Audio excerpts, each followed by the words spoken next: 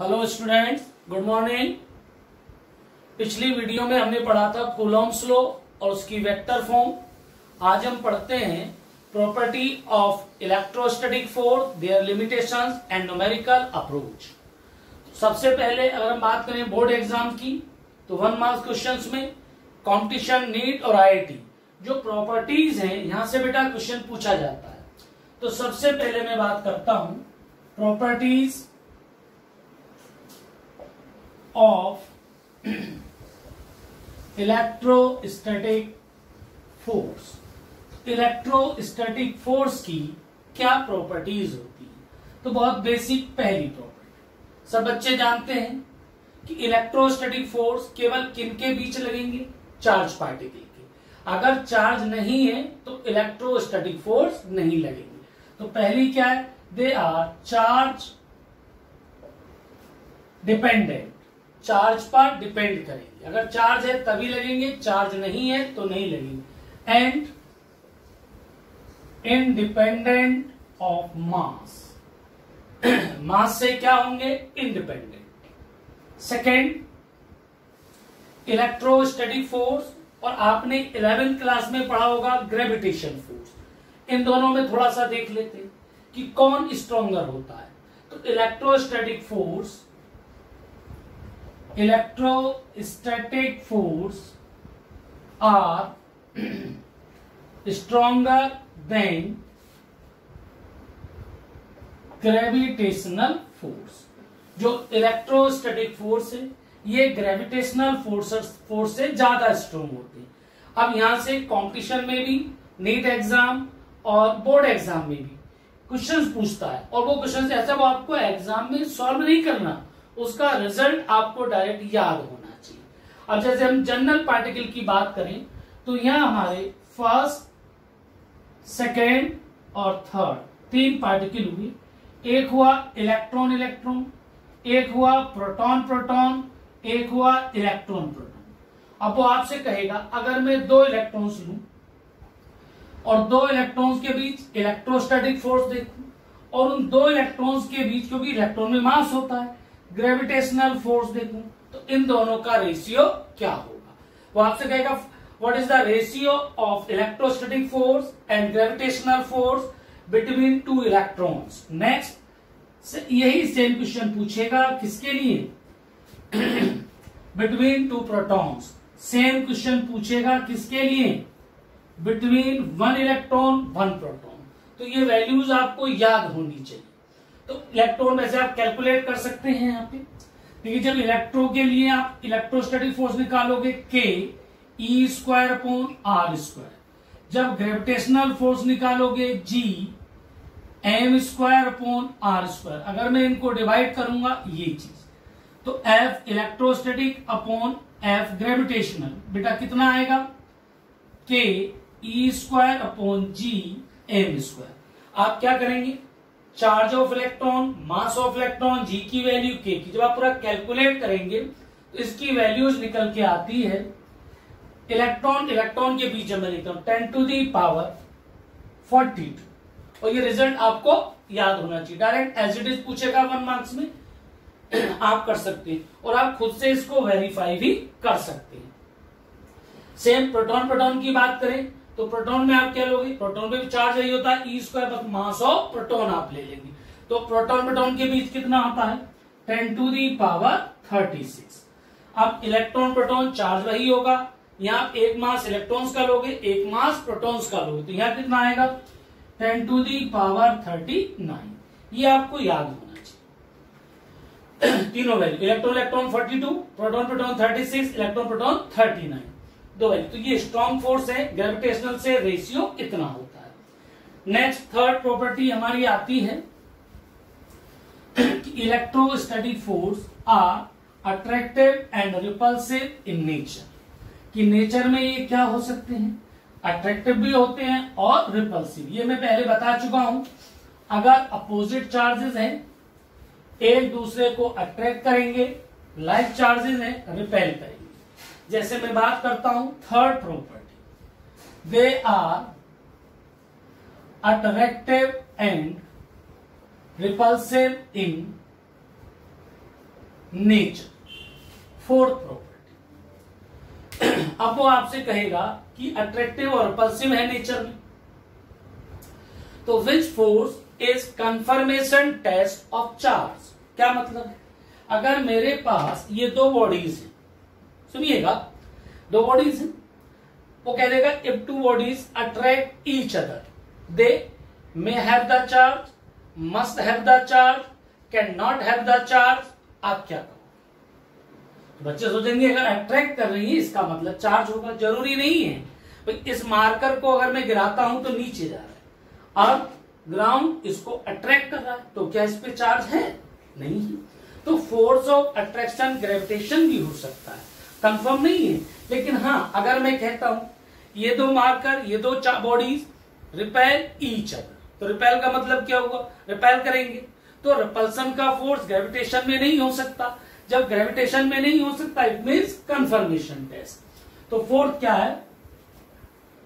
Force of repulsion is the confirmation test of charge कि जो force of repulsion है, ये चार्ज का कंफर्मेशन टेस्ट है, ठीक?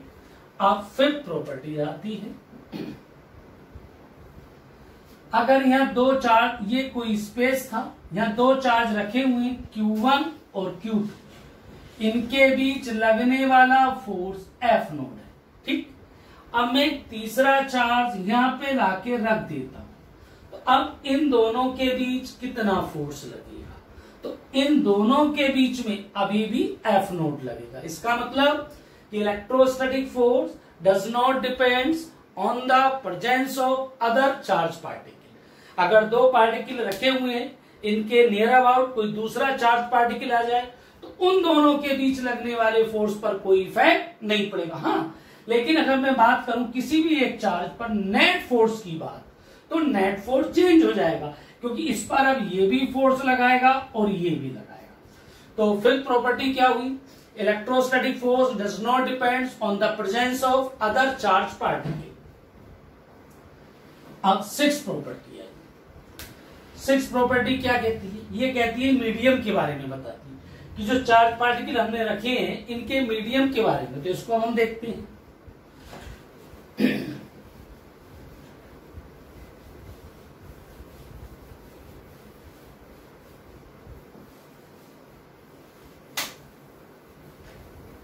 देखिए सिक्स प्रॉपर्टी की हम बात करते हैं। सिक्स तो अगर ये कोई दो चार्ज हैं Q1 और Q2 कैट इन एयर और vacuum at a distance R तो फोर्स कितना होगा? One upon four pi epsilon naught Q one Q two R square अब हम कहते हैं कि इन दोनों चार्जेस के बीच में कोई मीडियम फिल कर दिया जाए। माना वाटर फिल कर दिया, कोई इंसुलेटर फिल कर दिया, ऑयल फिल कर दिया। तो अब इनके बीच लगने वाला फोर्स जो पहले था वही होगा कि चेंज हो जाएगा।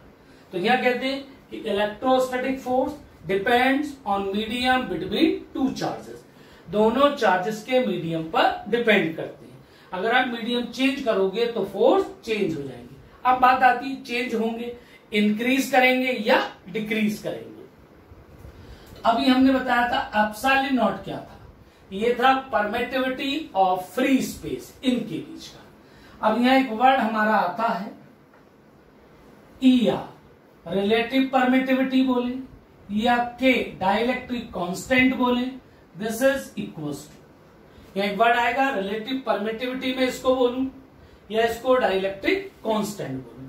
और ये क्या आएगा ई अपॉन ई यहाँ से मैं निकालू ये चीज़। तो epsilon equals to epsilon naught K, ये मुझको मिला। यहाँ अपसाइलिन को मैं क्या कहूँगा? Absolute permittivity absolute permittivity epsilon naught क्या होगा? Permittivity of free space air and vacuum के लिए। और के क्या कहलाएगा? ये रिलेटिव परमेटिविटी या डाई इलेक्ट्रिक कांस्टेंट जो के होगा, ये होगा रिलेटिव परमेटिविटी और डाइलेक्ट्रिक कांस्टेंट ठीक? जो डायलेक्ट अब बात है सब डायलेक्ट्रिक क्या होते हैं? तो डायलेक्ट्रिक कोई नई चीज़ नहीं है।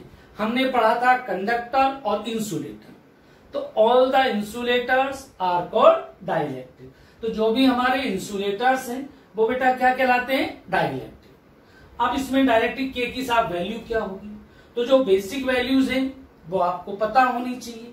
उससे अलग अगर वैल्यू होगी तो आपको ऑप्शन में गिवन होगी। जैसे मैं बात करूँ कि डायलेक्ट्रिक कांस्टेंट फॉर एयर और वैक्यूम कितना होता है? वन नियर और मैं बात करूँ कंडक्टर कंडक्टर मंसर मतलब मेटल्स इनके लिए क्या होता है? इनफाइनाइट मैं बात करूँ वाटर तो वाटर के लिए सबसे ज़्यादा होता है एट्टी वन इसके एक्सेप्ट कोई वैल्यूज़ आपको दी हो गिविन हो एग्ज़ाम में दिया होगा तो उसकी वैल्यूज़ आपको गिविन होगी।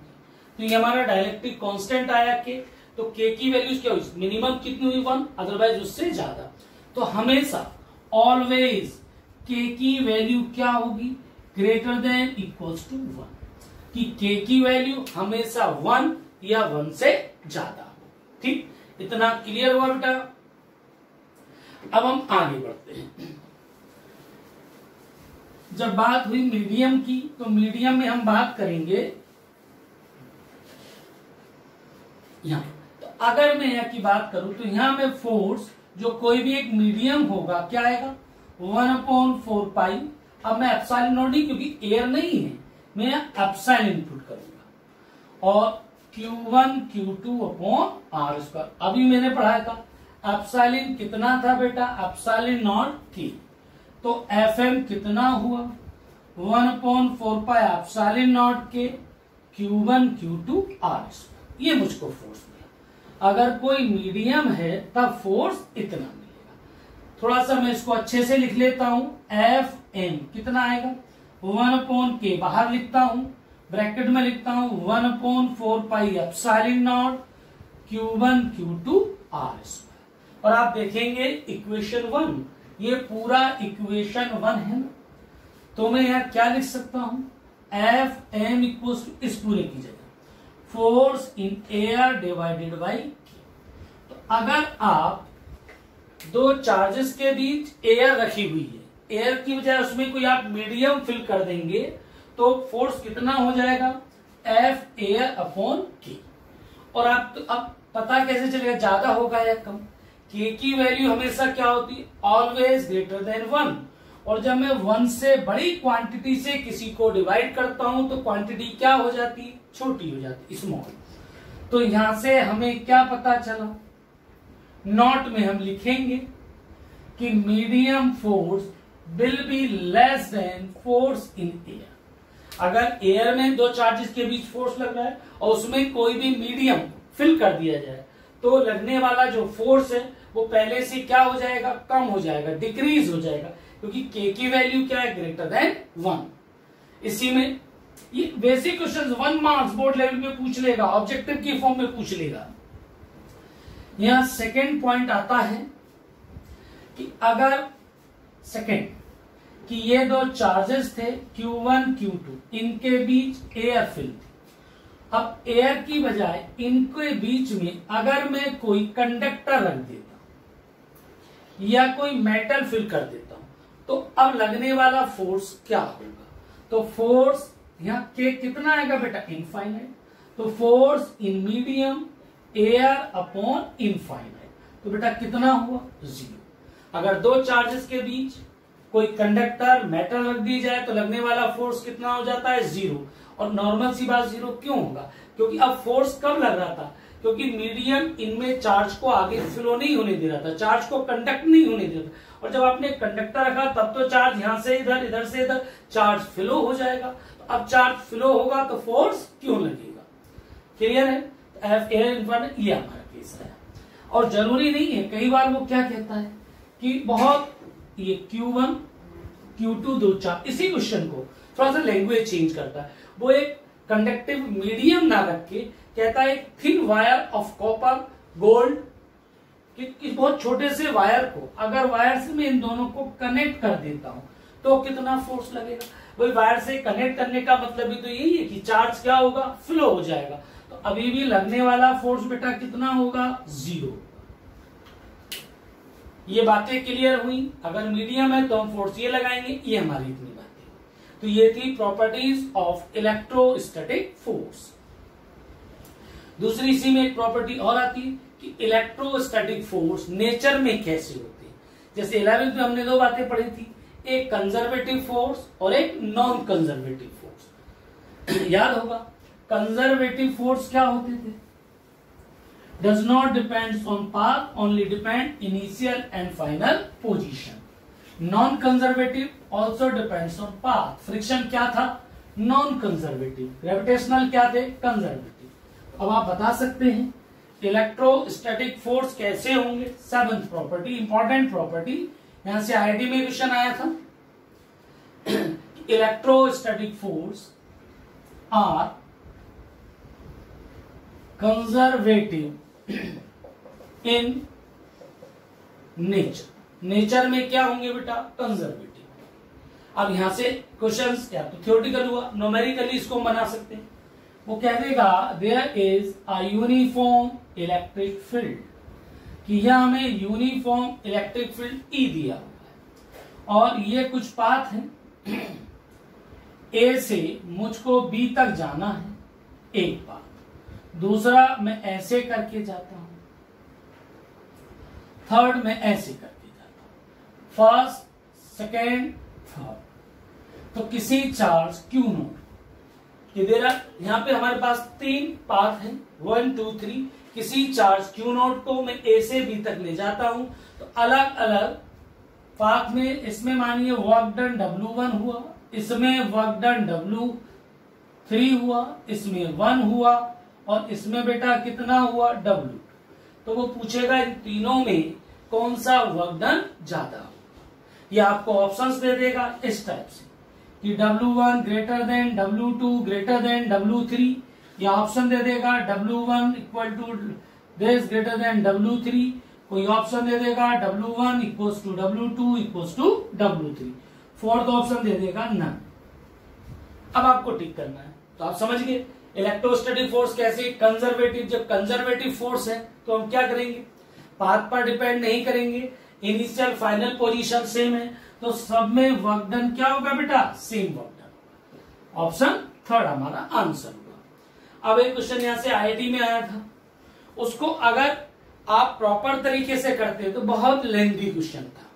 लेकिन अगर आप उसमें ये कॉन्सेप्ट लगा देते तो क्वेश्चन एक लाइन में सॉल्व होगा। तो वो क्वेश्चंस तो मैं आगे अभी नोमेरिकल अप्रोच कराऊँगा, तब उसको डिस्कस करूँगा। मैं आपको थोड़ा सा आइडिया देता हूँ, करना क्या है। जैसे ये यहाँ पे आपको कोई कोऑर्डिनेट दे दिए। ए से हम कहा गए? बी बी से हम कहा गए? सी सी से हम कहा गए? डी डी से हम कहा गए? ए ई ये इतने प्रोसेस थे। कोई यूनिफॉर्म इलेक्ट्रिक फ़ील्ड ई था। उसमें किसी चार्जेस को मैं ए से बी ले गया। कोई मानिए चार्ज क्यू नोट था सी डी ई पूछेगा find the net work done normal बच्चा कैसे करेगा?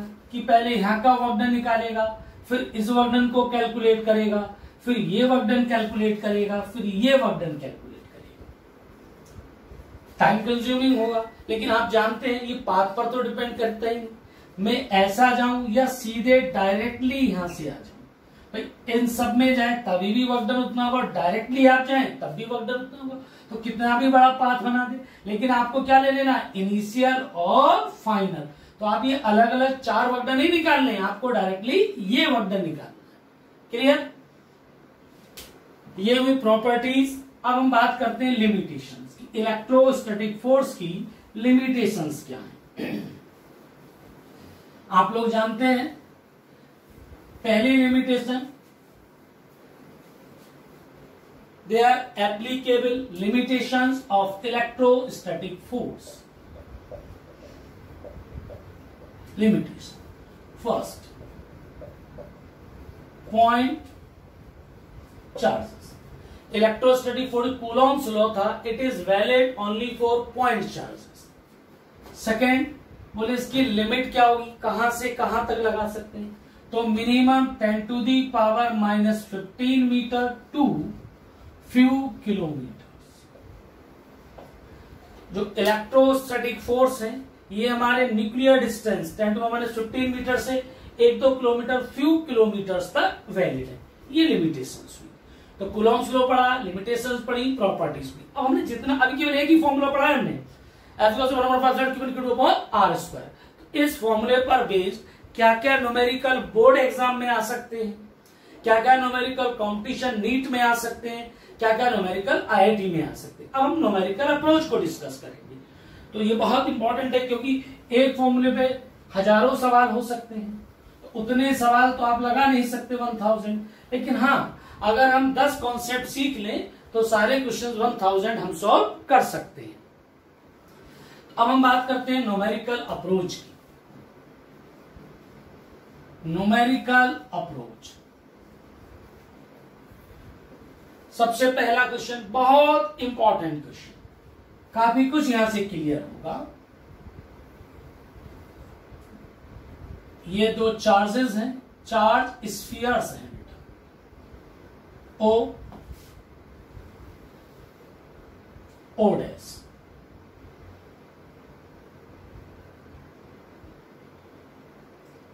ये Q1 और ये Q2 इनके बीच medium air kept at a distance R आप सुनिएगा ये ऑप्शंस आपको गिवन होंगे। F equals to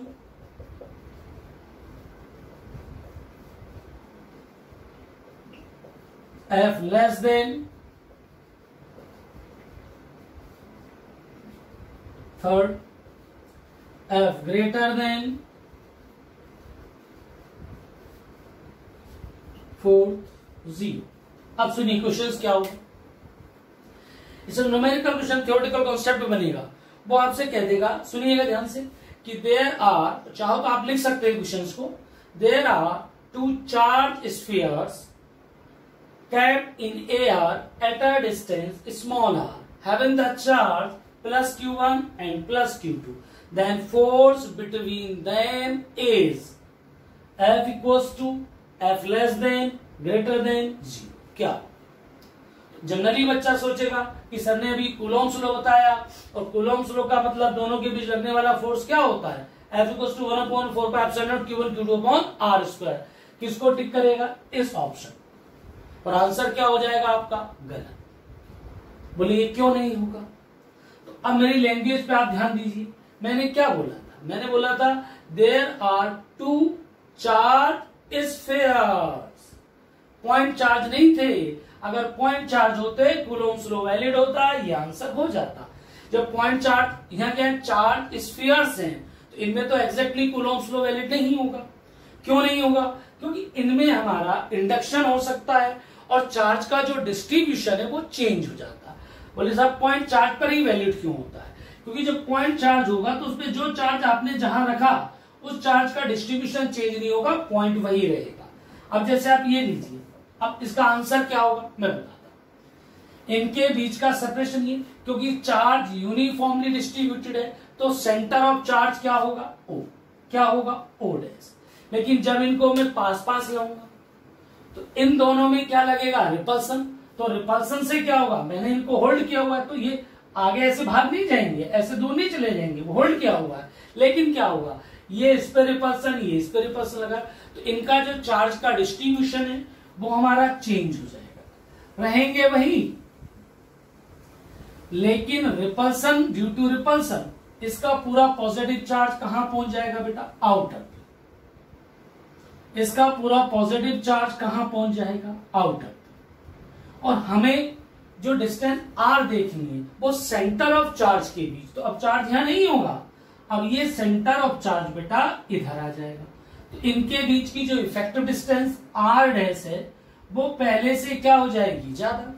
और F inversely proportional to R square तो जब डिस्टेंस हमारी क्या होगी बेटा? इंक्रीज तो फोर्स क्या कर जाएगा? डिक्रीज इनके बीच लगने वाला फोर्स क्या होगा? लेस दोबारा देखिए, आप ऐसा मानिए जैसे कोई स्पेयर है, आप अपने ग्लोब अपने घर में रख दीजिए। महीने भर रखा है उसके ऊपर डस्ट जम जाती है। डस्ट पूरा यूनिफॉर्म और जैसे आप हाथ में लीजिएगा, उस पर एयर लगाइएगा तो डस्ट पीछे हट जाती है। मतलब डिस्ट्रीब्यूशन चेंज हो जाता है। तो चार्ज का इस पे क्या होगा? इस चार्ज आउटर पे चला जाएगा। तो सेंटर ऑफ़ चार्ज ये ना हो कि अब सेंटर ऑफ़ चार्ज यहाँ आएगा सेंटर ऑफ़ चार्ज यहाँ आएगा। तो इनके बीच की डिस्टेंस क्या होगी? इंक्रीज कर जाएगी। तो फोर्स क्या हो जाएगा? कम हो जाएगा। सेम कंडीशन हम क्या कर सकते हैं? अगर इसको पॉजिटिव दिया होता, इसको निगेटिव दिया होता, तब आप क्या करते एक तरफ़ आप पॉजिटिव दिए होते, एक तरफ़ आप निगेटिव दिए होते। ये पॉजिटिव और ये निगेटिव तब क्या होता? ड्यू टू अट्रैक्शन चार्ज कहाँ आ जाता? पॉजिटिव इधर आ जाता और निगेटिव चार्ज इधर। तब इनके बीच की डिस्टेंस आर डैश क्या हो जाती बेटा? डिक्रीज तो फोर्स क्या कर जाता? इंक्रीज अगर चार्ज अनलाइक चार्जेस होते पॉजिटिव निगेटिव आंसर क्या होता? एफ़ इज़ ग्रेटर देन तो ये कॉन्सेप्ट समझ में आया होगा। ये हमारा सेकेंड न्यूमेरिकल अप्रोच क्या आती है? स्टैंडर्ड क्वेश्चन है ये भी।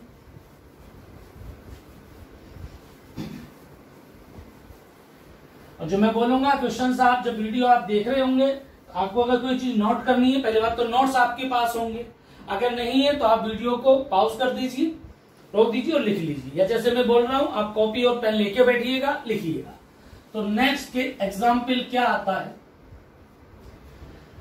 ये अगर कोई बॉडी थी, इस बॉडी को प्लस या माइनस मैंने क्यू चार्ज दी? अब वो कहेगा, इस चार्ज को दो पार्ट में डिवाइड करना है, इस तरीके से कि जब उन दोनों चार्ज को मैं रखूँ तो लगने वाला फोर्स क्या हो? मैक्सिमम क्या होगा? Divide charge Q in two parts in such a manner force between them is maximum. कि जिस दो पार्ट में आप डिवाइड कर रहे हैं तो उनके बीच लगने वाला फोर्स क्या हो? मैक्सिमम जैसे मानिए ये ये चार्ज अब इसको मैं या तो बीच से आधा आधा काट, कट कर सकता हूँ। या मानिए इतना मैंने कट कर दिया, ये चार्ज ये क्यू वन आया, ये क्यू टू इनको हाथ पे रखा। और इनके बीच लगने वाला फोर्स क्या होना चाहिए? मैक्सिमम होना चाहिए। अब कैसे करें हम? हमने क्या किया? हमने इसको दो पार्ट में ब्रेक कर मानिए ये charge Q sorry total charge कितना था बेटा? क्यू था। तो ये कितना हो गया? क्यू सपोज़ कीजिए। तो ये कितना बचा?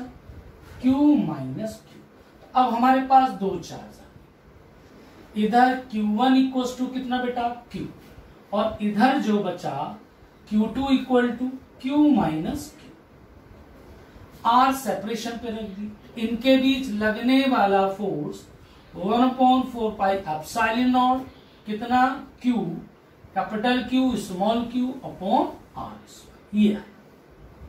अब मैं चाहता हूँ कि स्मॉल क्यू की किस वैल्यू के लिए फोर्स क्या होना चाहिए? मैक्सिमम इसके लिए हम क्या करते हैं?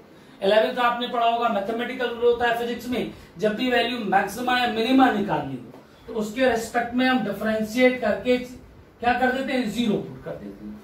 अगर हम यहाँ देखें तो अब हम यहाँ क्या कहेंगे?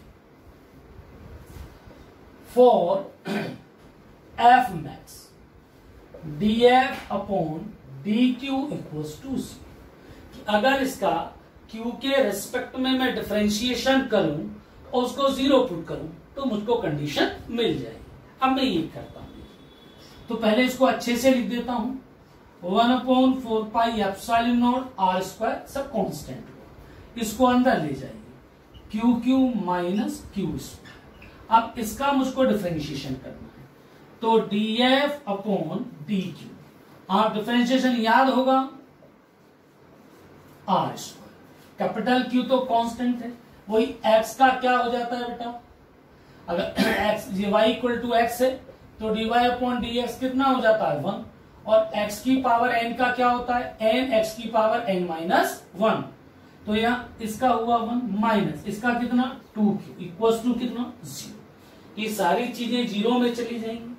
तो हमारे पास क्या बचेगा? Q minus two Q equal to zero तो q इक्वल टू कितना बेटा? टू क्यू तो q इक्वल टू कितना है? क्यू बाई मतलब क्या? कि अगर मैं इस चार्ज को दो इक्वल पार्ट में डिवाइड करूँ तो उनके बीच लगने वाला फोर्स क्या होगा? मैक्सिमम ये क्लियर है? ये हमने देखा। नेक्स्ट अब हम बात करते हैं इक्विवेलेंट डिस्टेंस की बात करते हैं। इक्विवेलेंट क्या होता है?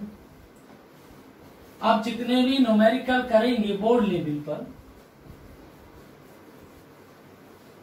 तो आपने ज़्यादातर आपको नोमेरिकल एक मीडियम के मिली पहले समझिए मैं आपको कराने क्या जा रहा हूँ। नेक्स्ट आर्टिकल या नेक्स्ट एग्ज़ाम पहले आप ये देखिए। अगर कोई चार्जेस हैं Q1 और Q2 इनके बीच कोई मीडियम मैंने फिल कर दिया K. तो लगने वाला force one point four pi naught q one q two r square और यह के आ जाता है. ठीक बेटा? अगर एक से ज़्यादा मीडियम फिल कर दिए जाए सपोज़ मानिए Q1 Q2 और मैंने यहाँ दो मीडियम फिल कर दिए दिस इसकी थिकनेस T1 इसकी थिकनेस टी टू इसका डायरेक्ट्रिक K1 और ये कितना बेटा? टी टू अब इनके बीच लगने वाला फोर्स क्या अब कैसे करो? और यही कंपटीशन पूछता है। बोर्ड में हम पढ़ के जाएँगे कि वन के सारे क्वेश्चन बोर्ड लेवल के आपके यहाँ से सॉल्व हो जाएँगे। लेकिन बोर्ड में अगर लेवल उसने बढ़ाया, या फिर कॉम्पिट तो आप इससे काम नहीं चलेगा। कि अगर दो चार्जेस के बीच मैं एक से ज़्यादा डायरेक्टिक मीडियम फिल करता हूँ, तब फोर्स कैसे निकालूँगा? उसके लिए हमें क्या पता होना चाहिए? इक्विवेलेंट डिस्टेंस का कॉन्सेप्ट अब मैं वो बता बहुत इंपॉर्टेंट है। मैं पूरा आर्टिकल एक्सप्लेन करूँगा। आपको जो रिज़ल्ट निकलेगा, उसको याद कर लेना। और सारे क्वेश्चन आपके उसी से सॉल्व हो जाएँगे।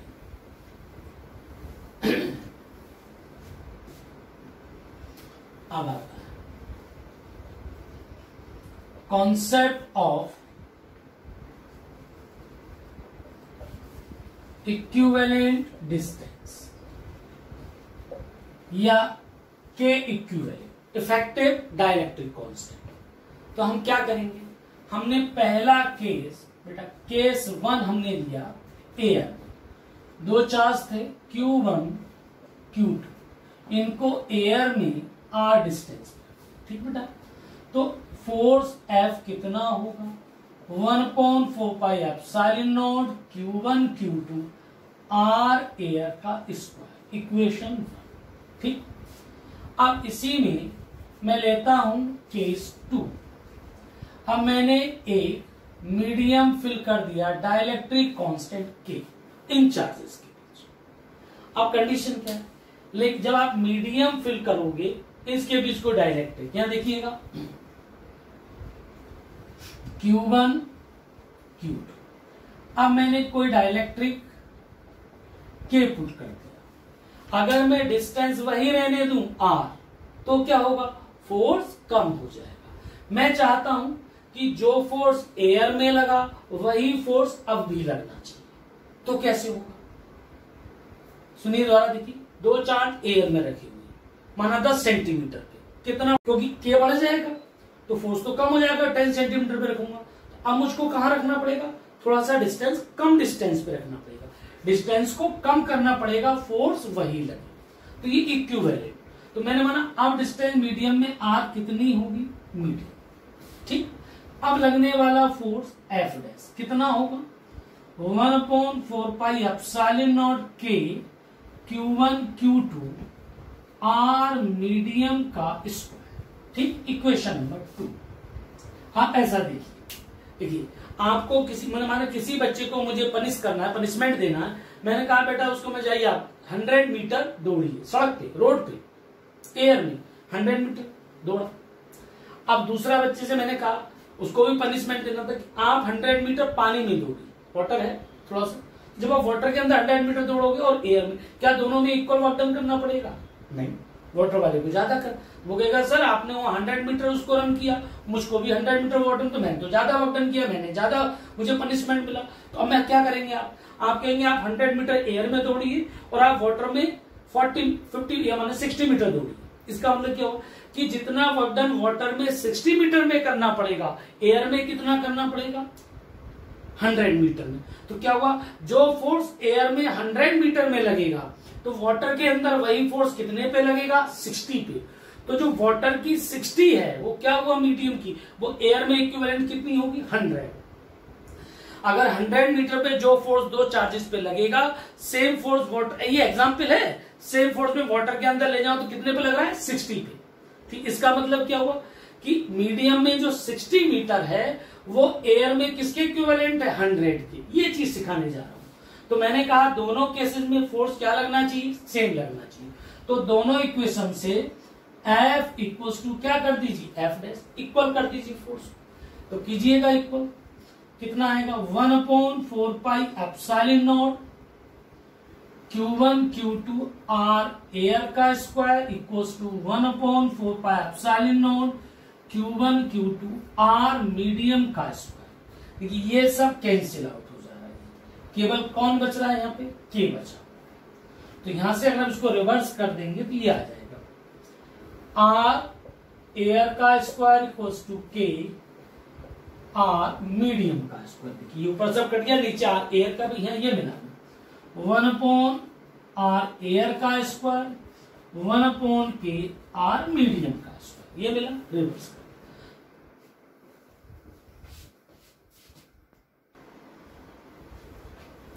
अब मैं यहाँ देखता हूँ तो r air root k r medium तो आपको जो याद रखना है, वो ये रिलेशन जहाँ भी न्यूमेरिकल करना है, ये रिलेशन आपको डायरेक्ट लर्न होना चाहिए, याद होना चाहिए.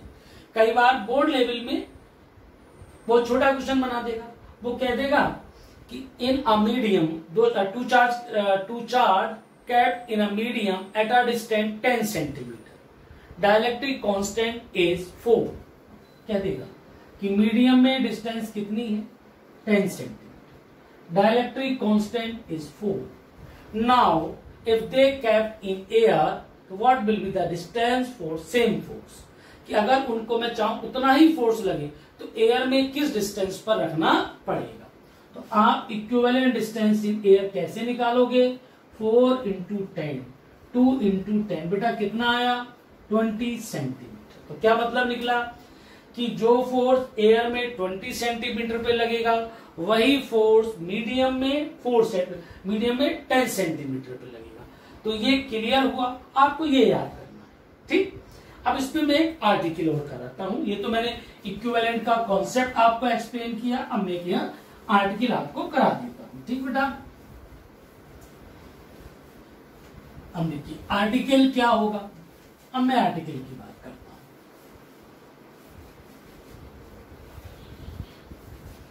हूँ। उसने ये कहा Q1 है और इधर कितना है बेटा? Q2 और मैंने इसमें तीन डायलेक्ट्रिक पुट कर दिए ये चीज़। कौन कौन? K1, K2, K3, T1, T2, T3 ठीक?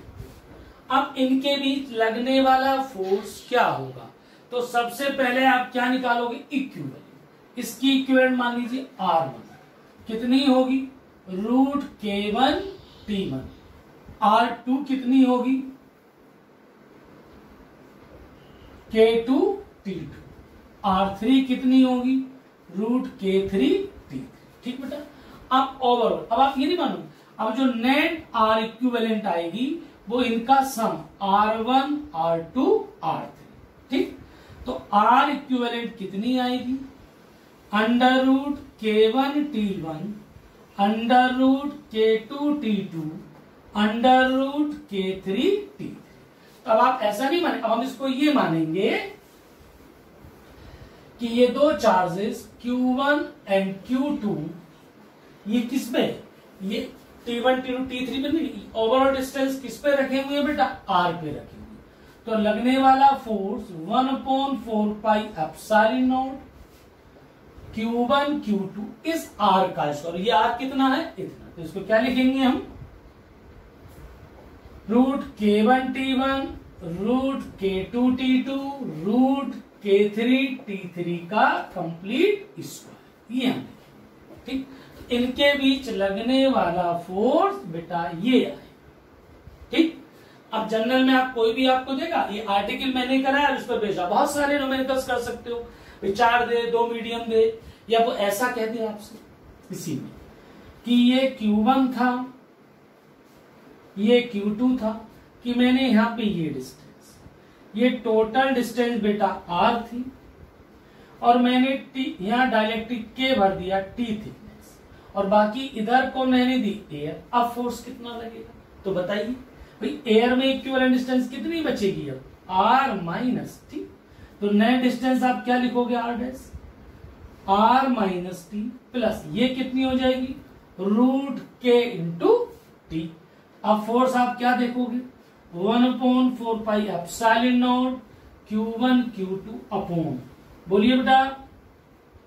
R minus t plus root k t का स्क्वायर ये फोर्स ये बहुत इंपॉर्टेंट कॉन्सेप्ट बताया है। तो ये न्यूमेरिकल अप्रोच आपने सीखी। अभी केवल कुलोम्स लो पढ़ा, उसी की हम न्यूमेरिकल्स कर रहे हैं। तो ये हमने किया। अब कुछ और बेसिक न्यूमेरिकल्स इसके हम देखते हैं। इसको हटा देते हैं। अब एक आता है फोर्स का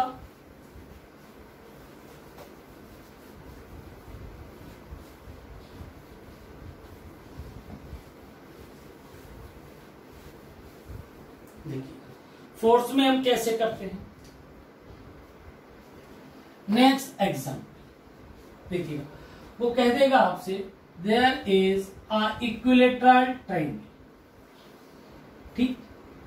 तीन इसके कॉर्नर्स हैं A B C length l kept three equal charges plus q plus q plus q then find net force any one charge दोबारा सुनिए। कोई इक्विलेटरल एंगल है, उसके तीनों कॉर्नर पर तीन इक्वल चार्ज रख दिए। लेंथ कितनी साइड की? एल तो किसी भी एक चार्ज पर नेट फोर्स क्या लगेगा? चाहे ए बी सी किसी पर भी। हम ए पर देख, या वो कह देगा कि find the net force at A A पर कितना लगेगा? अब आप कैसे करेंगे? तो इसको हम दो तरीके से कर सकते हैं। दो मेथड है। मैं दोनों एक्सप्लेन करूँगा। जो आपको अच्छा लगे, आप उसको यूज़ कर सकते हैं। पहला मेथड अब आप ये देखिए एल है। एक इस पर फोर्स कौन लगाएगा? बी दूसरा कौन लगाएगा? सी दोनों प्लस प्लस फोर्स कैसा लगेगा? रिपल्सन और रिपल्सन कहाँ लगेगा? आउटवर्ड तो जो इस पे फोर्स लगाएगा बेटा, वो इधर लगेगा कितना? एफ़ बी और एफ़ बी की न्यूमेरिकल वैल्यू क्या होगी? के वन अपॉइंट फोर को पूरा के मान लेता हूँ बेटा, ठीक है? चार्ज दोनों सेम है। क्यू क्यू और सेपरेशन कितना है? एल स्क्वायर आउट अब सी लगाएगा. प्लस प्लस क्या लगेगा? रिपल्सन कैसे लगेगा? ये इसको ऐसे रिपेल करेगा. ये भी बेटा कहाँ लगाएगा? आउटवर्ड और कितना लगाएगा? F C numerical value F C की. K q q upon l square जरा देखिए. न्यूमेरिकल वैल्यू दोनों की क्या है? सेम है. F B equals to F C आप जानते हैं इक्विलेटर ट्रेंगल में ये एंगल कितना होता है? 60 सारे एंगल 60 होते तो ये भी कितना हुआ? 60 ठीक है? अब आप इलेवेंथ में जाइए वेक्टर वाले चैप्टर में। फोर्स कैसी क्वांटिटी है? वेक्टर जब वेक्टर है तो दो वेक्टर अगर थीटा एंगल पर हो तो आपने रिजल्टेंट फॉर्मूला पढ़ा था अंडर किसी को याद है? क्या था? A square plus B square plus two A B cos theta तो यहाँ हम क्या करेंगे? F B square F C square plus two F B F C cos theta ठीक? अब हम रिजल्टेंट फोर्स की बात करेंगे। तो अब आप देखिएगा, यहाँ पे इनकी वैल्यूज़ क्या है? सेम तो आप हम केवल रख सकते हैं, इसको एफ़ मान लीजिए दोनों की तो F square F square two F F cos sixty F R equals to कितना बेटा? एफ़ एफ़ कितना हो जाएगा? बोलिए। टू एफ़ स्क्वायर और ये कितना? Two F square cos sixty कितना होता है? वन बाई टू कट कीजिए। तो एफ़ आर कितना? थ्री एफ़ स्क्वायर एफ़ बाहर रूट थ्री और एफ़ की आप वैल्यू पुट कर दीजिए। तो जो नेट फोर्स कहें या रिजल्टेंट फोर्स कहें वो कितना आएगा? रूट थ्री के के की वैल्यू पूरी पुट कर देता हूँ मैं। One upon four pi epsilon naught q q upon l ये मुझे बोला तो रूट थ्री टाइम्स आया चाहे आप इस पे देखिए सब पे ये लगे द्वारा देख लीजिएगा। भाई, इससे फोर्स ये इधर लगाएगा, देखिएगा, और ये फोर्स इधर लगाएगा। एंगल 60 तो वेक्टर फॉर्म वाला formula A square plus B square plus two A B cos put किया सॉल्व हो गया। बोले, नहीं सर, दूसरा तरीका बताओ। अब मैं इसका कंपोनेंट मेथड बताता हूँ। देखिए, इसी को मैं कंपोनेंट मेथड से कर सकता हूँ। देखिए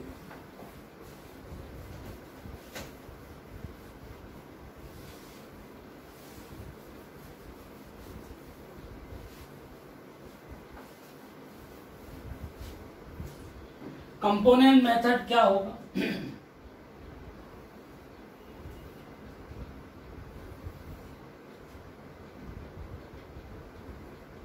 ये ए था बी और सी सब पे चार्ज रखे हुए थे।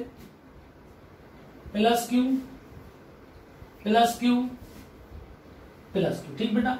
सी कैसे फोर्स लगाएगा? आउट ये। एफ़ सी एफ़ बी क्या लगाएगा? आउट एफ़ अभी मैंने पीछे बताया था एफ़ बी एफ़ सी की वैल्यू सेम होंगी।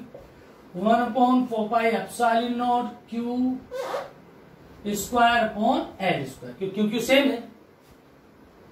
नोमेरिकल इसको मैं एफ़ मान सकता अब जरा यहाँ देखिएगा। इस तरीके से मैं ऐसा करता हूँ। ये एंगल टोटल 60 था तो ये कितना हुआ बेटा? 30 ये भी कितना 30 तो यहाँ से आप देखेंगे 30 और ये भी कितना 30 अब आप वेक्टर के कंपोनेंट कर लीजिए। आपने देखा होगा, मैं थोड़ा बताता हूँ वेक्टर ये एक्स एक्सिस होता था, ये वाई एक्सिस होता था, ठीक है? यहाँ अगर कोई वेक्टर था, ये फोर्स एफ़ लगता था कितने पे? थीटा। तो जहाँ से एंगल बनाता था, उधर कौन आता था? कॉस अपोजिट में कौन आता था? साइन तो इधर कौन आएगा बेटा? F cos theta. इधर कितना? F sine theta component of a vector अब वहीं पे हम यहाँ कंपोनेंट ऑफ़ ए वेक्टर की बात करते हैं तो आप देखिएगा। अब यहाँ क्या होगा? ये थीटा बना। तो इधर कितना आएगा? F B cos thirty C का भी कितना आएगा इधर component F C cos thirty और इधर कितना? एफ़ बी साइन थर्टी इधर कितना? एफ़ सी साइन थर्टी आप देखिएगा एफ़ बी एफ़ सी की वैल्यू क्या है सेम तो ये दोनों कंपोनेंट एक दूसरे को क्या कर देंगे? कैंसिल तो यहाँ जो नेट फोर्स हमको मिलेगा, वो इन दोनों से मिले। दोनों सेम डायरेक्शन में दोनों को बेटा आप ऐड कर लीजिए। कितना आ जाएगा? F B cos thirty plus F C cos thirty और एफ़ सी दोनों की वैल्यू सेम है तो two F B cos thirty F जो नेट फोर्स आएगा टू एफ़ की value q square four pi epsilon naught l square cos thirty कितना? Root three upon तो जो नेट फोर्स हमारा आया बेटा root three times one upon four pi epsilon naught q square upon l square क्या वही force आया कि नहीं? तो ये चीज़ हमें ध्यान रखनी तो दोनों क्वेश्चन हमारे सोल्व हुए। दो मेथड से ये क्वेश्चन को हमने दो मेथड से अब इसी सेम क्वेश्चन में थोड़ा सा मैं चेंज करूँगा, आप क्वेश्चन चेंज होंगे। भाई, हमें तो कॉन्सेप्ट सीखना।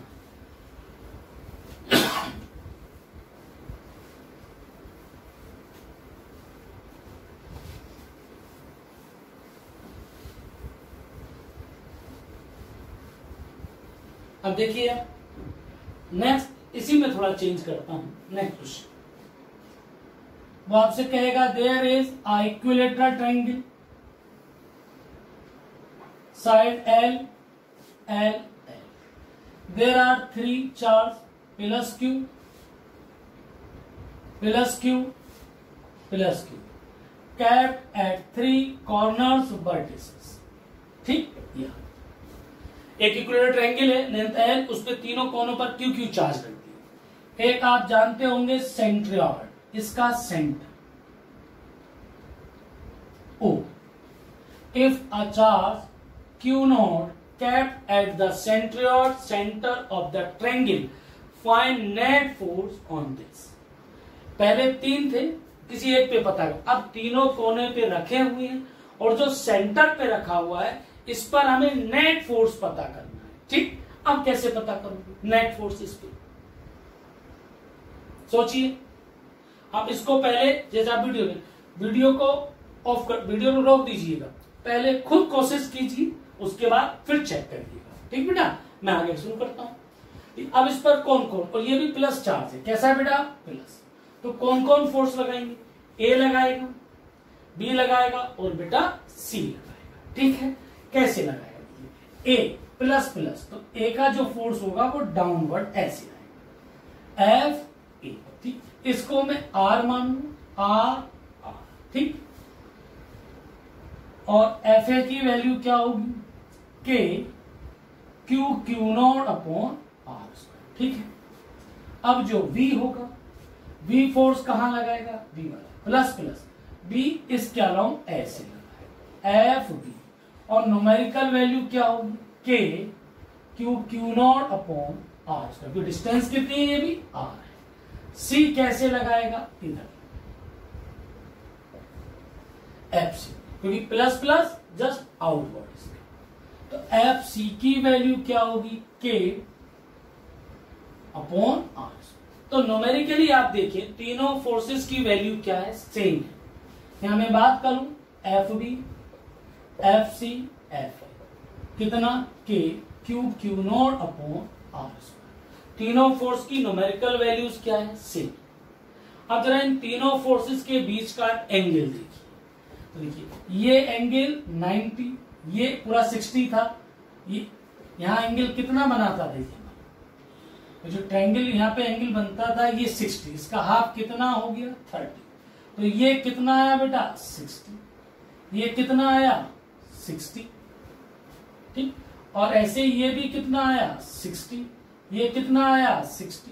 तो इन दोनों फोर्सेस के बीच ये एंगल कितना हो गया? वन ट्वेंटी और ये भी कितना हुआ? वन ट्वेंटी और ये भी कितना हुआ? वन ट्वेंटी तो तीनों फोर्स कितने एंगल पर लगे हुए वन ट्वेंटी वन ट्वेंटी वैसे भी यहाँ देखिए ज्योमेट्री आपने पढ़ी होगी टेंथ स्टैंडर्ड पे। इक्विलेटरल एंगल की जो मीडियंस है, आप देखिएगा ये। यहाँ इस वाले मीडियंस को आप इधर ले जाइए। ये था, इसको आप नीचे लाइए। ये दोनों कितने एंगल पर इंटरसेप्ट करती थी? ये जो एंगल होता था, ये 120 होता अब आप इसको लेके आएँगे ये तो ये एंगल भी कितना होता था? 120 और इनके बीच का एंगल भी 120 चाहे तो आप कर सकते हैं, देखिए 90 ये एंगल कितना बेटा? 30 तो ये कितना हो गया? 60 ये थर्टी नाइन्टी तो ये भी कितना? सिक्सटी तो ये सिक्सटी आया।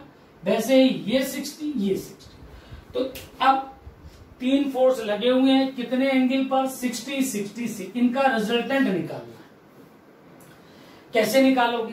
तो यहाँ फिर दो तरीके हैं। या तो कंपोनेंट मेथड आप लगा दीजिए, या फिर आप वेक्टर फॉर्म लगा दीजिए। तो पहले में, आपने अगर इलेवेंथ में वेक्टर पढ़ाओ तो ये स्टैंडर्ड होता था कि अगर किसी बॉडी पर ओ पर तीन इक्वल फोर्स लगे हों, और बेटा कितने एंगल इन सबके बीच का एंगल 120, 120 और 120 हो। तो इनका जो नेट फोर्स आता था वो ज़ीरो आता था। कितना आता था बेटा? ज़ीरो। ये सीधा होता था स्टैंडर्ड रिज़ल्ट था। फिर भी मैं बताता हूँ कैसे आया। तो देखिए अब मैं इसको यहाँ सॉल्व करके दिखाता हूँ। इधर देखिए आप तीन फोर्स हमारे लग रहे अब मैं इसको कंपोनेंट मेथड से आपको एक्सप्लेन करता हूँ। ये ओ एफ़ क्यों सारे फोर्स इक्वल है? एफ़ एफ़ ठीक बेटा?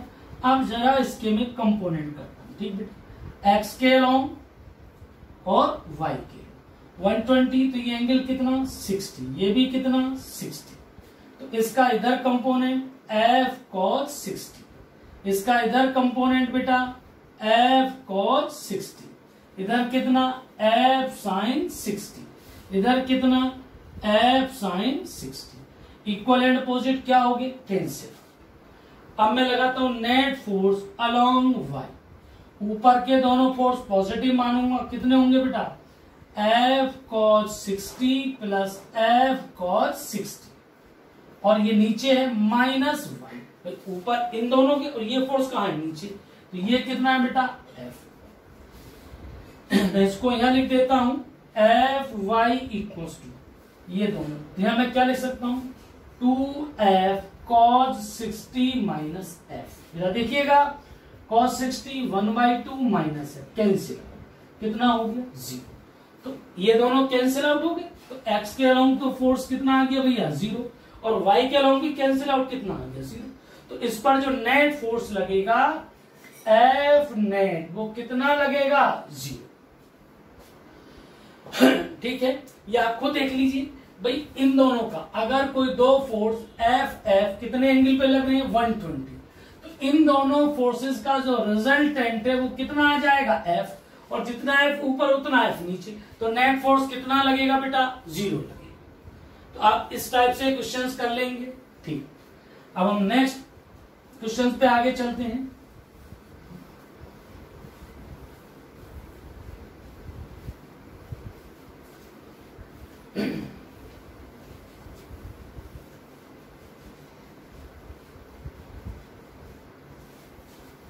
नेक्स्ट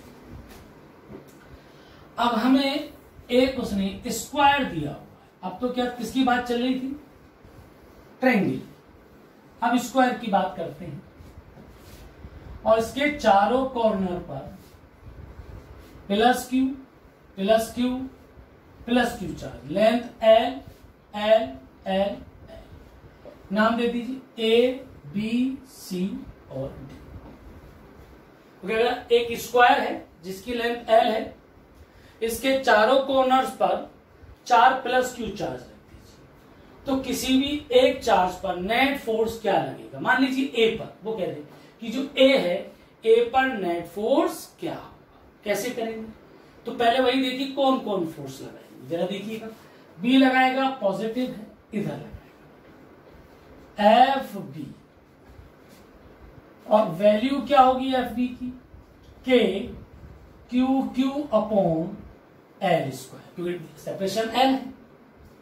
अब कौन लगाएगा? डी लगाएगा। डी कहाँ लगाएगा? ऊपर। एफ़ डी अगर आप एफ़ डी की वैल्यू देखोगे सेम वही रहेगी। K q q l square तो नोमेरिकली एफ़ डी और एफ़ बी क्या होंगे? सेम ठीक, मान लीजिए इनको एफ़ ठीक बेटा? अब और कौन लगाएगा? ये फोर्स लगाएगा। और ये दोनों प्लस प्लस है। ये इधर फोर्स लगाएगा। एफ़ सी और जरा एफ़ सी की वैल्यू देखिएगा। K q q upon l l तो ये डिस्टेंस पाइथागोरस से कितनी होगी बेटा? L root two Pythagoras l ये ये निकाल के, ये निकाल लिया इसको इसकी वैल्यू पुट करें कितनी आएगी बेटा? टू एल स्क्वायर ये सी फोर्स तो अब इस बॉडी पर, इस ए पर तीन फोर्स लग रही F B F C F D वही इलेवेंथ का वेक्टर अब इन तीनों का रिजल्टेंट निकालना है। तो फिर दो दो तरीके। या तो कंपोनेंट करिए, या फिर आप क्या कीजिए? सिंपली रिजल्टेंट का फॉर्मूला लगाइए। तो देखिए, जब ये दोनों फोर्स इक्वल है एफ़ बी एफ़ टी ठीक? और ये जो फोर्स है, क्योंकि मिड पॉइंट से जाएगा तो ये एंगल कितना बनाएगा? 45 ठीक? तो पहले आप ये देखिए। यहाँ देखिएगा, ये फोर्स एफ़ बी, एफ़ ठीक? और एफ़ डी कितना बेटा? एफ़। दोनों इक्वल इन दोनों फोर्स का, पहले इन दोनों का रिजल्टेंट देखिए।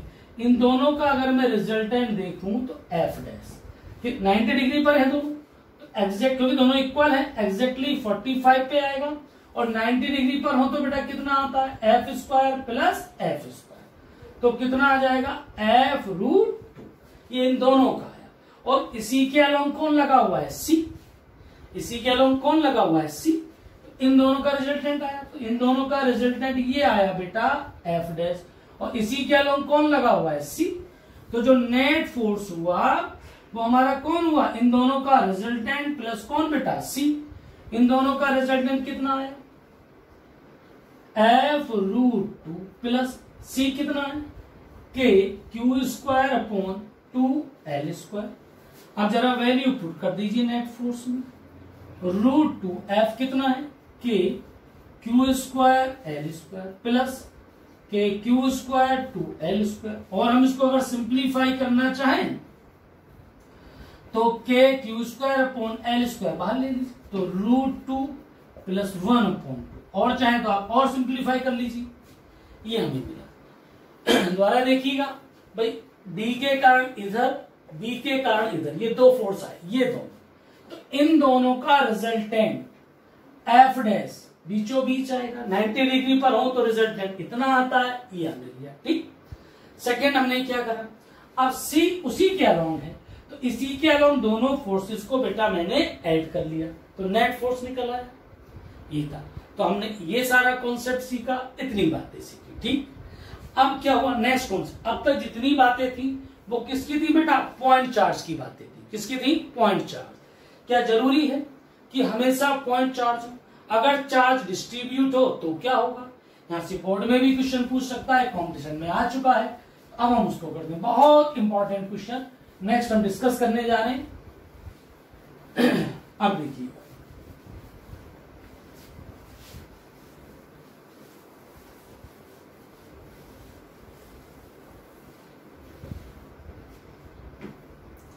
अब हम बात करते हैं नेक्स्ट ये एक चार्ज क्यू दे दिया? प्लस और यहाँ एक रॉड दे दी। इस पे चार्ज कैपिटल क्यू डिस्ट्रीब्यूट कर दिया? लेंथ है। और कितनी दूरी पर रखी हुई है? ए इनके बीच क्या फोर्स लगे? अभी तक क्या था? पॉइंट चार्ज होते अब ये तो एक पॉइंट चार्ज है और एक ही ऐसे रॉड रखी हुई ऐसे। इनके बीच क्या फोर्स तो डायरेक्ट फोर्स पुलों तो लग नहीं सकता। क्यों? क्योंकि ये प्लस क्यू चार्ज पूरे का पूरा यहाँ नहीं है।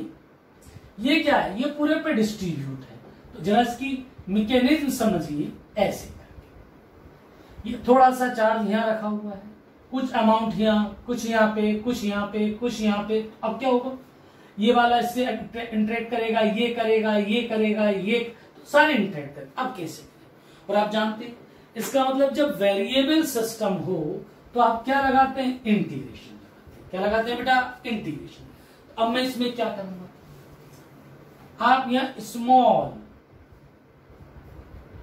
ये मान लीजिए यहाँ से एक्स डिस्टेंस पर ये चीज़ स्मॉल बिट कितनी ले लीजिए? डीएक्स छोटी सी डीएक्स तो जब स्मॉल बिट डीएक्स है तो स्मॉल चार्ज कितना होगा इस डी क्यू कितना होगा? डी अब लगाइए। एल लेंथ पे कितना चार्ज है बेटा? क्यू तो वन मीटर पे कितना? क्यू अपॉन एल तो डी क्यू चार्ज तो जो डी एक्स होगी स्मॉल बिट उस पर चार्ज डी क्यू क्या आ जाएगा? Q upon L into D X ठीक? दोबारा देखिए। देखिए चार्ज पर यूनिट लेंथ यूनिट लेंथ पे चार्ज कितना है? क्यू अपॉन एल तो डीएक्स बिट पे चार्ज कितना होगा? Q Q upon L into D X तो स्मॉल चार्ज डी क्यू और बिट कितनी बेटा? डीएक्स ठीक है? अब मैं ये मान के सॉल्व करूँगा कि क्यू चार्ज यहाँ रखा हुआ है और एक small D Q charge X distance पे रखा हुआ है। ठीक? तो इनके बीच जो स्मॉल फोर्स डी एफ़ लगेगा वो कितना one upon four pi epsilon naught Q into D Q upon कितना बेटा? एक्स ये लगेगा, ठीक है? समझ में आ रहा है? ये इतना लगेगा। अब इसमें डी क्यू की वैल्यू पुट कर देता हूँ। तो डी एफ़ कितना आ रहा है बेटा? One upon four pi epsilon naught Q into कितना? Q D X upon L into X आया कि नहीं? अब मुझे पूरा फोर्स निकालना है तो इसके लिए हम क्या करते हैं? इंटीग्रेशन तो जब मैं नेट फोर्स की बात करूँगा कंप्लीट फोर्स की एफ़ कैसे आएगा? इंटीग्रेट डी एफ़ तो इसमें जो कांस्टेंट है, उनको मैं बाहर ले लेता हूँ। Four pi epsilon naught L integrate D X upon X square इसको इंटीग्रेट करना। अब बात है कहाँ से, कहाँ तक करना है? देखिएगा, ये चार्ज यहाँ से यहाँ तक डिस्ट्रीब्यूट है। तो ये डिस्टेंस आर वन कितनी होगी ए और बार वाली कहाँ तक जाएगी बेटा? ए और लेंथ है। ए प्लस इंटीग्रेट कहाँ से? ए से बेटा ए प्लस एल ठीक? आप इसको इंटीग्रेट करिएगा। तो Q Q four pi epsilon naught L इसको हम ऐसा लिख सकते हैं X minus two D X limit A से कहाँ तक? ए प्लस एल इंटीग्रेशन शायद आपको याद होगा, हम क्या करते थे? एक्स की पावर एन का इंटीग्रेशन क्या होता था? एक्स की power N minus one upon N minus one होता था। अब जैसे ये क्या है? एक्स की पावर माइनस टू एक्स की पावर यहाँ कितना हो गया हमारा? एक्स की पावर माइनस टू तो इसमें सॉरी ये हम क्या करते थे इंटीग्रेशन एक्स की power? N plus one upon कितना? एन प्लस वन डिफ्रेंशिएशन करते थे वैसा। अब जैसे ये एक्स की पावर माइनस टू क्या करोगे? Minus two plus one minus two plus one तो बेटा कितना आएगा एक्स की power? Minus one minus one तो माइनस वन अपॉन एक्स आएगा कि नहीं आएगा इंटीग्रेशन? तो सीधा इंटीग्रेशन में है इसका लिख देता हूँ Q Q upon four pi epsilon naught L direct one upon X limit A से लेके ए प्लस एल तक, ठीक? अब जरा इसको मैं यहाँ लिखता हूँ एफ़ इक्व टू माइनस बाहर ले लीजिएगा। Q Q four pi epsilon naught L higher minus lower तो one upon A plus L minus one upon A minus अंदर ले जाएँगे। तो जो फाइनल रिज़ल्ट आएगा, वो ये आएगा Q Q upon four pi epsilon naught L bracket में one upon A minus one upon A plus L यह आप चाहें तो इसको और आगे भी सिंप्लीफाई कर सकते हैं। कैसे? F equals to Q Q upon four pi epsilon naught L मैं इनका एलसीएम ले लेता हूँ A into A plus L ठीक बेटा? तो A plus L minus A A cut गया एल एल कैंसिल तो क्या निकला result Q Q upon four pi epsilon naught A into A plus L ये भी फाइनल रिज़ल्ट हम लिख सकते हैं। ठीक? द्वारा देखिएगा, हमने क्या किया? ये क्यू था यहाँ स्मॉल चार्ज डी क्यू दिया। डी क्यू की विड्थ कितनी ले ली? डी एक्स तो एल लेंथ पे कितना चार्ज किया? तो वन मीटर पे कितना क्यू ओपोन एल तो डीएक्स पे चार्ज कितना हुआ? Q upon L into D X ठीक है? अब हम ये मान के चलेंगे क्यू और डी क्यू में फोर्स लगना है। तो Q D Q upon X square बेटा डी क्यू की वैल्यू पुट कर दी।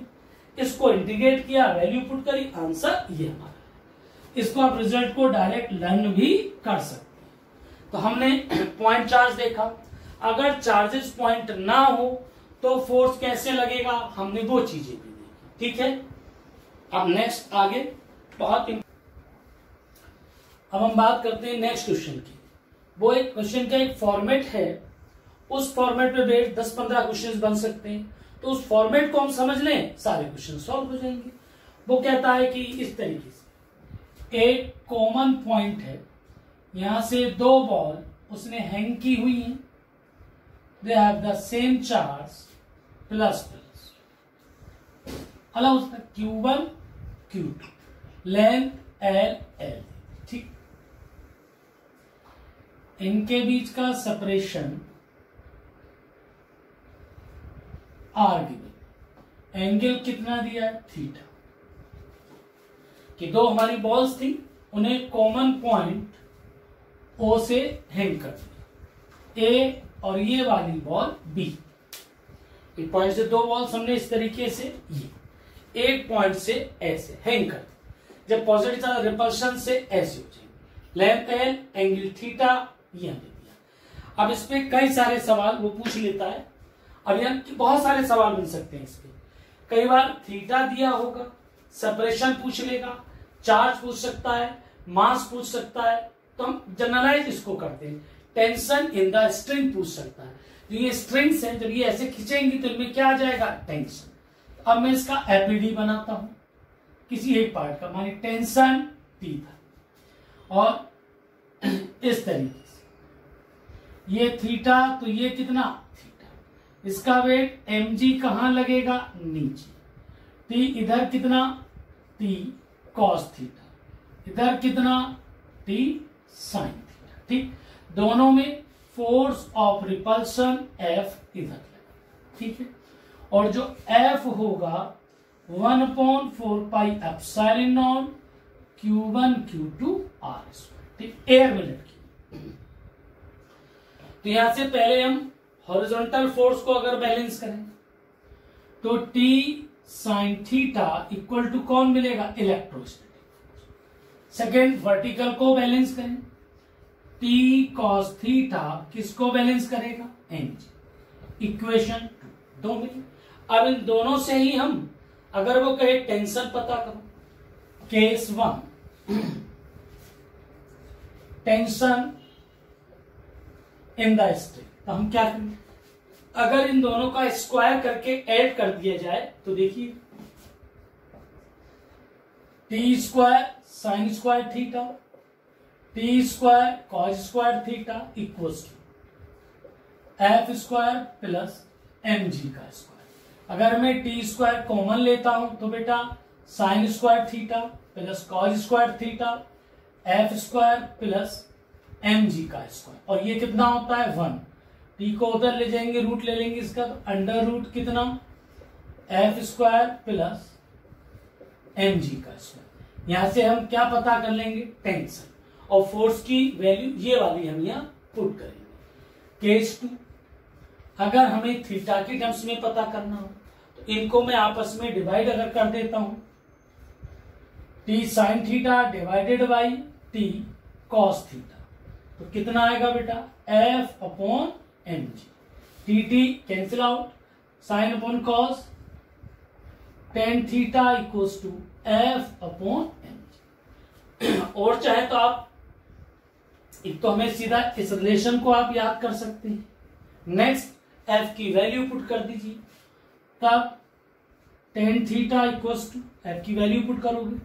तो Q one Q two upon four pi epsilon naught R square M ये हमें इतनी चीज़ें हमें अब एग्ज़ाम में अननोन कितने हैं? क्यू वन अब चेक करते हैं देखिए Q one Q two M R और थीटा इनमें क्या हो? अगर ये सारे गिविन है थीटा पूछ लेगा। ये गिविन है क्यू वन पूछ लेगा।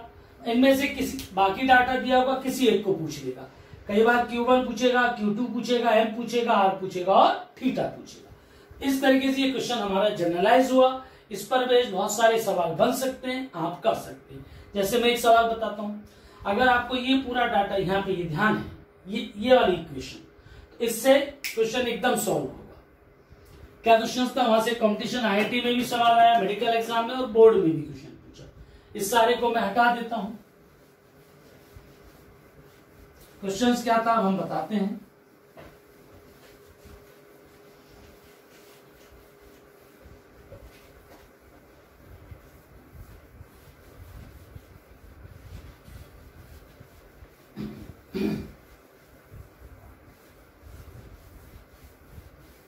अब देखिए। उसने कहा they are two pith balls in airs this stands R at an angle theta. Mass m ये दो पिच बोल थी। एयर में हैंगिंग है सेपरेशन आर एंगल थीटा इस तरीके से। Now they are immersed in a liquid अब इन दोनों बॉल्स को मैं किसी लिक्विड के अंदर इमोस कर दी ये लिक्विड था। लिक्विड के में इमोस कर दिया condition theta remains the same theta equals to constant theta क्या बना रहता है? कॉन्स्टेंट अब then find dielectric constant of the medium द्वारा सुनिए दो पिच बॉल्स एयर में थी, इनको मैं किसी लिक्विड में इमर्स करता हूँ, तब भी थीटा उतना ही रहता है then find dielectric constant of the liquid given आपको होगा। Density of balls is 1.6 and density of liquid rho of liquid is point eight ten to the power three K G per metre cube ten to the power three K G per metre की ये हमें density given है। Find dielectric constant अब आप ऐसा देखिए। ये दो बॉल्स एयर में थी फोर्स लग रहा था। अब जरा देखिए, हो क्या रहा है? जब इनको मैं वाटर में या किसी लिक्विड में इमर्स करूँगा तो इनके बीच लगने वाला फोर्स क्या होगा? के आएगा, कम हो जाएगा। जब फोर्स कम लगा तो इनको कहाँ आ जाना चाहिए? नज़दीक आना चाहिए। लेकिन वो कह रहा है कि वो नज़दीक नहीं आ रही, थीटा वही बना रहता है। क्यों? क्योंकि केवल इलेक्ट्रो नहीं लग रहा है यहाँ एमजी भी तो लग रहा है। तो यहाँ दो फोर्स काम कर। अगर इलेक्ट्रोस्टैटिक चेंज हुआ तो एमजी भी तो चेंज हुआ। अब आप लगाइए। देखिए, पहला केस इस केस में अभी हमने सीखा है। टेन थीटा इक्वल्स टू कितना था? Electrostatic force in air air थी upon M G equation one ठीक? आप इधर आ जाएँगे जब किसी डायलेक्ट्रिक मीडियम में आप इमर्स करोगे, आपने इलेवेंथ में हाइड्रोस्टेटिक्स में पढ़ा होगा कि यहाँ वैल्यू कितनी होती थी जी? और जब किसी बॉडी को ये बॉल का वेट क्या अंदर यहाँ जाके वेट अब एम होगा? नहीं। अगर किसी बॉडी को हम लिक्विड में इमर्स करें तो इट लूज इट्स वेट उसके वेट में क्या आती? कमी आ जाती। कम हो जाता है। वेट अब थ्रस्ट फोर्स बायसी फोर्स लगता है। तो सेम कंडीशन यहाँ है। जब एम नीचे जाएगा तो अंदर जाके जी की वैल्यू चेंज हो जाती है। तो इनसाइड लिक्विड या जी की वैल्यू क्या होती है? याद होगा formula G one minus rho upon sigma rho किसकी डेंसिटी लिक्विड की। सिग्मा किसकी बेटा? सॉलिड की। ये फॉर्मूला आता है। ये जब इलेक्ट्रोस्टैटिक जब हाइड्रोस्टैटिक की मैं वीडियो अपलोड करूँगा इलेवेंथ में आपने पढ़ा होगा, तब इसको मैं ड्राइव करके दिखाऊँगा। ठीक बेटा? अभी हम इसकी बात करते हैं। तो हमने एक बात सीखी कि लिक्विड के अंदर जाने पर उसका जो वेट है, वह जी की वैल्यू चेंज होगी। क्या होगी G one minus rho upon sigma अब यहाँ, लेकिन थीटा वही रहता है। तो यहाँ इक्वेशन लिखिए tan theta force in medium अब मीडियम आ गया। अपॉन कौन? एम जी पीछे बताया था मैंने। मीडियम में जो फोर्स है, वो कितना हो जाएगा? Force air divided by K upon M G कि अगर एयर को किसी मीडियम में ले जाएँ एयर से किसी मीडियम तो फोर्स कितना हो जाता है? एयर अपॉन के या वैसे भी, यहाँ वन अपॉन फोर यहाँ देखिए, यहाँ फोर्स क्या लिखोगे? One upon four pi epsilon naught Q one Q two R square और जब मीडियम में करोगे तो फोर्स क्या लिखोगे? One upon four pi epsilon naught K Q one Q two R तो वन अपॉन क्या आया ना मीडियम में तो एयर अपॉन के और जी की वैल्यू क्या रखोगे? जी डैश क्या पुट करोगे बेटा? जी डैश तो ये कितना आया? Force in air upon M G dash into K equation two अब आप इन दोनों इक्वेशन से ये देखिए थीटा तो वही रहता है। जब थीटा वही रहेगा, दोनों थीटा इक्वल कर दीजिए। Force in air upon M G equal force in air upon कितना भैया? M G dash air cancel out M M cancel यहाँ से आप और आगे हम प्रोसीड करें तो one upon G equal to one upon G dash K हमें चाहिए कौन बेटा? के चाहिए। तो के यहाँ से आप क्या निकालोगे? जी अपॉन जी डैश और जी डैश की वैल्यू पुट कर दीजिए। G one minus rho upon C cancel तो one upon one minus rho कितना है? Point eight ten to the power three. ये one point six ten to the power three. Point हटाइए, eight से two. तो one one minus one upon. तो one LCM लोगे, two minus one upon. तो कितना आएगा? ये ऊपर चला जाएगा यहाँ। Two upon one. तो जो डायरेक्ट्रिक कांस्टेंट है वो बेटा कितना आया? टू। आया ठीक, हमने वही चीज़ें जो हमने पिछला क्वेश्चन किया, उसका जो रिजल्ट्स थे, वो हमें याद थे कि इसमें वो टेन थीटा एमजी अपॉन के एफ़ अपॉन एमजी होता है। इसमें वही फोर्स एफ़ नोट अपॉन के हो जाएगा। एम जी डैश दोनों को इक्वेट किया वैल्यू पुट की आंसर हमारा एक मिनट के अंदर आ जाएगा। ये क्लियर है? कई बार इसी टाइप का सेम क्वेश्चन होता है। थोड़ा सा आपको कंफ्यूज आप हो जाते हैं लैंग्वेज से। तो सारा फिनोमिना यही लगेगा, सारी कंडीशन यही रहेंगी। बस डायग्राम थोड़ा सा चेंज हो जाएगा। तो यहाँ पे क्या था? दोनों बॉल्स पे सेम चार्ज था, या तो पॉजिटिव या निगेटिव तो दोनों क्या होगी? रिपेल होगी। अब इसमें ऐसा कर देगा। एक डिस्टेंस दे देगा आपको, ये सपोज़ मान लीजिए डी और यहाँ से दो बॉल हैंग करा।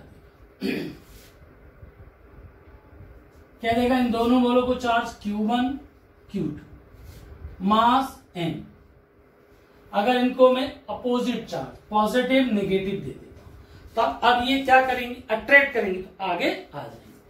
तो इनका डायग्राम अब कुछ ऐसे करके, इधर जाएगी अट्रैक्ट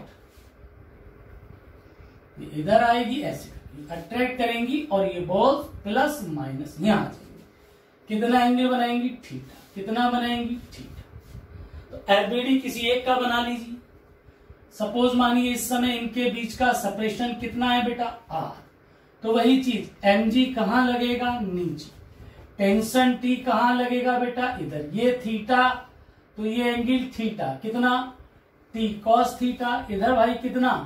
टी साइन थीटा और इधर force of attraction F condition वही बनेगी। टी साइन थीटा किसको बैलेंस करेगा? एफ़ को। और टी कॉस थीटा किसको बैलेंस करेगा? एम जी को। क्या वही कंडीशंस है? थीटा पता करना है वही बस फोर्स की वैल्यू क्या होगी? आर आपको दिया होगा इससे। आप पता कर लेंगे। तो अगर रिपल्सन वाला केस था तो वो पॉइंट कॉमन था, उससे क्या हुए थे? इस तरीके से हो गए थे। अगर यहाँ था तो यहाँ से अब ऐसे हो गए डायग्राम वही वही कॉन्सेप्ट तो इस टाइप के प्रॉब्लम शायद आप लोग कर लोगे। ठीक? तो न्यूमेरिकल्स इतने ही नहीं है, बहुत सारे। ये तो मैंने सिंगल स्टेप अभी प्रॉब्लम कुलोम्स लो की डिस्कस की। आगे अभी ऐसी प्रॉब्लम्स आएँगी, जहाँ कुलोम्स लो तो लगेगा ही लगेगा। साथ में कुछ और बातें भी यूज़ होंगी। टू स्टेप प्रॉब्लम्स अब हम उनको देखते हैं। यहाँ बहुत सारे प्रॉब्लम्स अभी बनेंगे। तो बेसिक जो कुलोम्स लो केवल प्योर कुलोम्स लगा वो सारी बातें मैंने डिस्कस की। अभी पहले हम थ्योरी पढ़ेंगे। क्या क्या पढ़ेंगे हम इसमें? Electric line of force electric field potential potential energy उसके बाद फिर न्यूमेरिकल अप्रोच आएगी, क्योंकि वो सारी चीज़ें भी उनमें लगेंगी। तभी और बहुत सारे न्यूमेरिकल बनेंगे। तो इस थ्योरी के बाद फिर मैं न्यूमेरिकल अप्रोच की एक सेकेंड वीडियो अपलोड करूँगा। उसमें जो ये मैं प्रॉब्लम्स आपको दे रहा हूँ, आप घर पे इनको ट्राई कीजिए। और जो सेकेंड वीडियो आएगा, एक थ्योरी का, उसके बाद उसमें इनका मैं सॉल्व करके आपको दिखाऊँगा। इतने आप घर पे इनको ट्राई कीजिएगा। क्या क्या है? एक नंबर ये कोई रिंग थी। इस रिंग को मैंने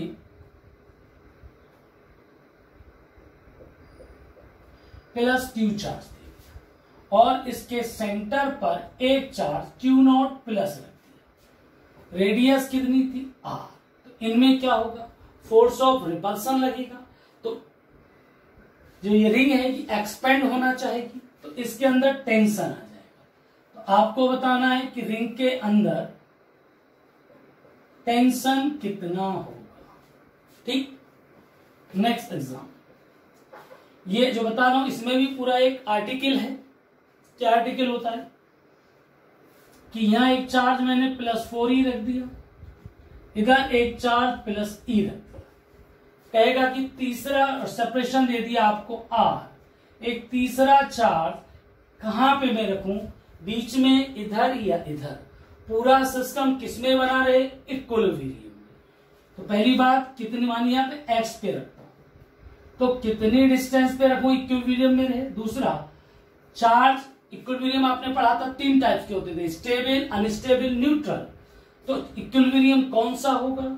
और चार्ज क्यू की न्यूमेरिकल वैल्यू क्या? इस टाइप ये पूरा एक आर्टिकल है, क्योंकि जर्नी चार्ज दोनों प्लस हो, दोनों माइनस भी हो सकते हैं, दोनों प्लस भी हो सकते हैं, कुछ भी हो सकता है। तो ये पूरा एक आर्टिकल में एक्सप्लेन करूँगा। नेक्स्ट बहुत इंपॉर्टेंट क्वेश्चन मोस्ट इंपॉर्टेंट वो आपसे कहेगा कि एक ये प्लस क्यू चार्ज मैंने फिक्स्ड कर दिया। ठीक? रिजिड है। इससे नज़दीक एक एम मास का क्यू नोट चार्ज रख दिया। सरफेस मेरी स्मूथ है। ये रिजिड है, बंधा हुआ है। ठीक? तो अब जब इसको यहाँ लाओगे तो इनिशियली ये किसमें होगा? रेस्ट लेकिन जैसे ही छोड़ोगे तो ये आगे रिपेल करेगा तो ये आगे भागेगा। तो इसकी जो वेलोसिटी है, वो क्या होगी? इंक्रीज होती जाएगी। क्यों? जैसे फोर्स लगा है, आगे इंक्रीज लेकिन जो इस लगने वाला फोर्स है, वो क्या होगा? वेरिएबल क्योंकि दूर जा रहा है। तो आपको बताना है, इस पार्टिकल की velocity as a function of x इससे दूर जाने पर एक्स के साथ इसकी वेलोसिटी कैसे चेंज होगी? तो वन टू थ्री क्वेश्चन एक लास्ट क्वेश्चन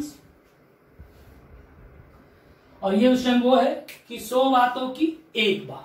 यहाँ से हंड्रेड क्वेश्चंस बन सकते हैं। लेकिन हंड्रेड क्वेश्चंस ना होके मैं एक क्वेश्चन बताऊँगा, वहाँ से आप हंड्रेड क्वेश्चंस कर लेंगे। तो सौ बातों की एक बात क्या है?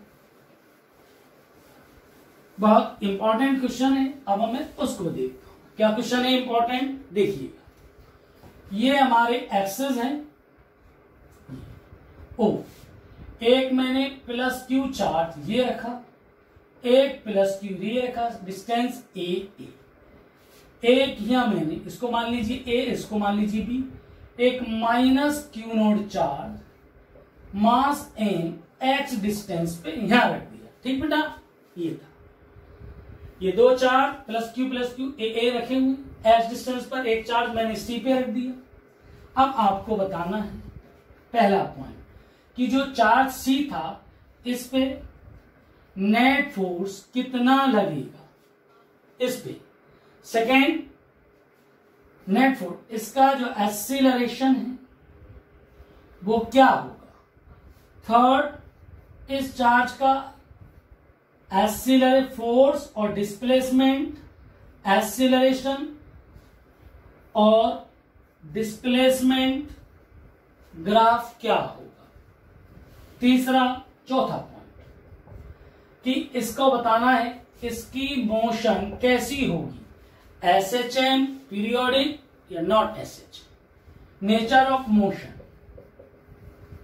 nature of motion आपको बताना केस फाइव की condition of S H M आपको बताना है कि किस कंडीशन में एस एच एम होगी? सिक्स जब एस एच एम होगी तो आपको बताना है कि इसका टाइम पीरियड क्या होगा। और यहीं पे इसका एक बार ये भी बताना है कि एक्स की किस वैल्यू पर फोर्स मैक्सिमम होगा। तो लगाइए, कितने केसेस बन गए? ऐसा क्वेश्चन नहीं है। ये कई सारी चीज़ों को मना की चीज़ बनाई गई है, जिससे कि आपको एक ही चीज़ से हंड्रेड क्वेश्चन आपके क्लियर हो जाए तो ये आपका होमवर्क है। इतने क्वेश्चन आपको घर से कोशिश करने हैं ये घर पे कोशिश कीजिएगा। नेक्स्ट वीडियो में हम थ्योरी पढ़ाएँगे इलेक्ट्रिक फ़ील्ड इलेक्ट्रिक और ये नहीं और भी बहुत सारे क्वेश्चन हैं जो वहाँ पे हम डिस्कस करेंगे। इनको आप प्रैक्टिस कीजिएगा और इन सारे क्वेश्चन को आप घर पे कोशिश कीजिए। बाकी जब नेक्स्ट वीडियो आएगी, उसमें मैं थ्योरी पढ़ाऊँगा, उसके बाद जब नेक्स्ट टाइम आएगी, तब हम इन चीज़ों को डिस्कस करेंगे। और जितना मैंने पढ़ाया किसी भी वीडियो में, कहीं आपको कोई डाउट हो तो आप ये नंबर है nine four five seven zero five three four three five. आप इस पे कॉल कर सकते हैं। ये आपके जो डाउट्स हैं, वो आप मुझको व्हाट्सएप कर सकते हैं। तो उसको मैं आपके साथ प्रॉब्लम की प्रैक्टिस करेंगे। तो नोमेटो प्रॉब्लम्स आएँगी तो आपको कहने की प्रॉब्लम भी हो सकती है। तो वो सारी चीज़ें आप मुझको व्हाट्सएप करिए, मैं आपको उनका सोल्यूशन जो भी होगा, आपको भेज दूँगा। तब तक आप पढ़ाई करते रहिए, अपना ध्यान रखिए बेटा, स्वस्थ रहिए और मुझको डाउट भेजते रहिए नेक्स्ट वीडियो में फिर मिलते हैं।